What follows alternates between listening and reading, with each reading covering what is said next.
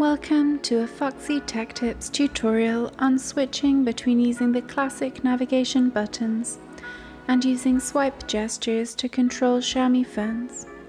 If you find this video helpful, please consider subscribing to my channel and liking the video.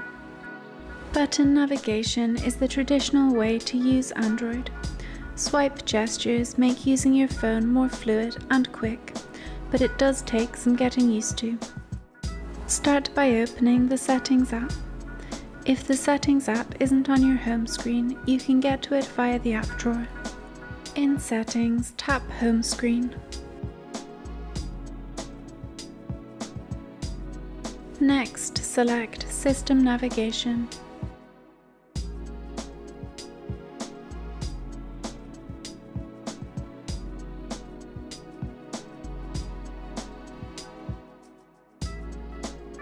Here you can choose between using buttons and gestures for system navigation. If you choose gestures, tap Learn to access the tutorial on using swipe gestures.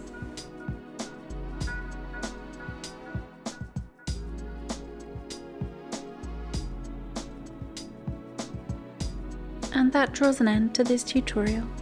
Please like the video if you found it helpful and subscribe to Foxy Tech Tips for more Xiaomi and MIUI tips and tricks.